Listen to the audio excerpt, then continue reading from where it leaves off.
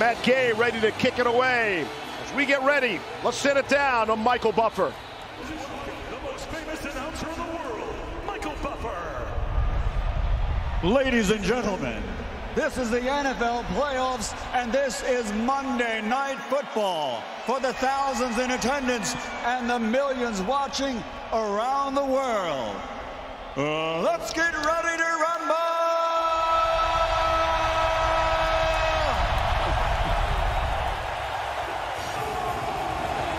Buccaneers need an opponent next Sunday. And we're about to find out over the course of the next three hours who that'll be.